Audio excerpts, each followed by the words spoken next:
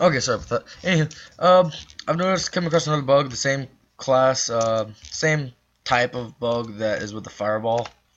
Uh, the first time with the fireball, that the damage is applied before the actual attack hits. Uh, watch this. See, it's dazed.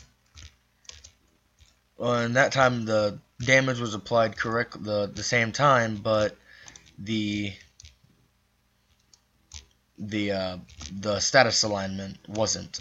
Uh, I've came across a few times where the damage would be applied, and you know, before the animation played, but it's mostly just the the status effects that are added before the uh, animation, before the attack plays. So. Uh, I'm not really too sure how you would fix this, as in I don't know how you guys have the status effects set up. But I would imagine it's about the same as the damage.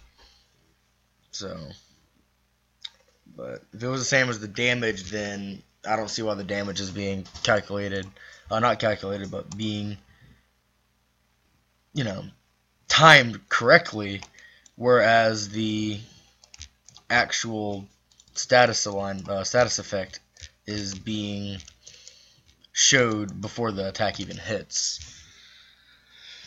Anywho, that's that. I'm not really too sure how to fix it, uh, or else I would try to help you out there, but sadly I can't. Sorry.